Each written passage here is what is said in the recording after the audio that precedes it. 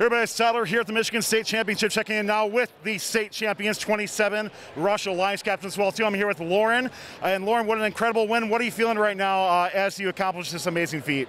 I'm just amazed. It was such a good weekend, and we were so so happy with our um, division win. And we were just so satisfied with that, but it feels so unreal to actually go all the way.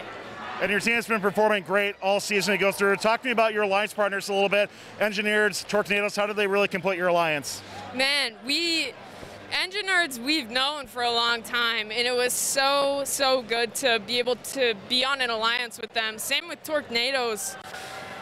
No matter, even though they weren't ranked number two and three, I think we just made such a good team, and you can definitely see it by the results.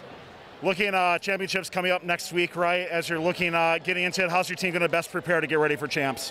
One way is definitely not to get ahead of ourselves.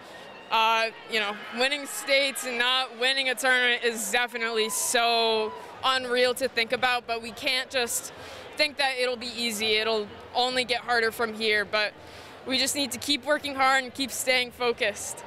Well, congratulations uh, here, uh, taking once again Michigan State Championships, and can't wait to see you at Worlds in just a few days as well. Thanks a lot. Of course, thank you so much.